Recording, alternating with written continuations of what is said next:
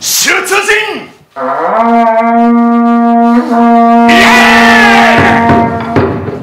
びっくりしましたよ。34年前なんですよ。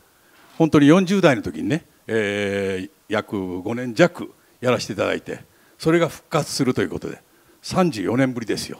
でもやっぱりねこの竹市場に本当の思い入れがあったので僕は今回出演させていただいて本当にやっぱり嬉しかった。楽しかった。やりましたはい、ありがとうございます。やってくださいました。そして木村さんは谷さんとともに新しく攻撃隊長に就任されましたが、まず最初にオファーを受けた時にどんなお気持ちだったかお聞かせください。はいあの大変驚きましたしあの光栄な気持ちでいっぱいになりました僕は1990年生まれなんですけれども本当に僕が生まれる前からあのやっていた番組ですからあの世代ではないんですよねなんですがあの僕が生まれてからこの思春期を迎えてあの成長していく中でもあの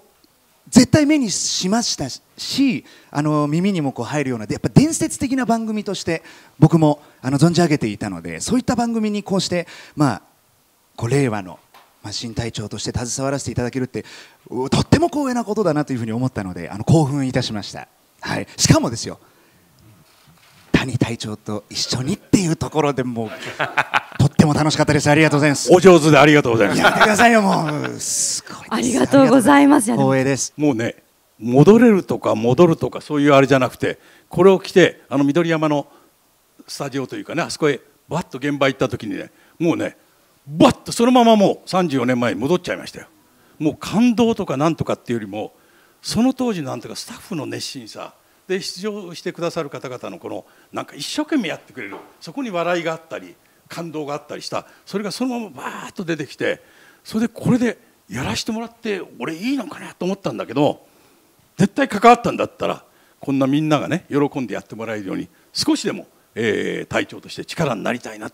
それを感じた今年の、えー、去年の夏ですね。本当に、えー、2022年の夏は本当に最高の夏でしたね俺。竹市場竹市場かなりパワーアップいたしましたあのなぜかですね腕まで生えておりますので、はい ね、最新式になってます。で、あのこの下の方に隊長、谷隊長、わかりますでしょ？わかりますね。あのね、龍神の池なんかもやっぱりかなりバージョンアップしてるし、はい、お城がまあ大体すごいですよ。はい、ね、ここが、言っていいんですかね、これもう全面全面 LED です。LED ですから。こちらのゲームは昔あったんですけど、こちらの3つは全く新しいゲームでございます。あの今の時代だからこそ実現した、先ほどあの海外からあのはい、あのモーターをあの輸入してっていう。はい、はい、それが、はい、それがあの、はい、いくつか。あ、このストロングアームなんか。はい、この辺ですね。それからこれ、はい、ブロックブロック。これもすごいです。やっぱりもうこう挑戦者の方がですね、この涙を飲んで沈んでいく池があるじゃないですか。ね。まずですね、もうとにかくね、皆さんあの見ていただいたら分かると思うんですよ。これからもうスケール感が半端じゃないんですよ。当時のまんまのものもあればやっぱこの令和版としてさらにかっこよくなってるアトラクションもたくさんたくさんあってでこのとにかく池がですねみんな悔しい思いをして落ちていくわけじゃないですか僕ね印象的だったのがやっぱ夏の間撮影してたんですけどこの池にですねカエルが卵を産むわけですねでそうするとこう時々見に行くとねあのおたまじゃくしになってるんですよ。でまた次見に行くとそれがカエルになってねこうその池を巣立っていくわけですよ、ね、なんかみんなが悔しい思いをして落ちる池だけどそこに命も誕生してるんだなって。なんかそういうなんていうんですかねこうなんか竹市場って不敬なみたいな。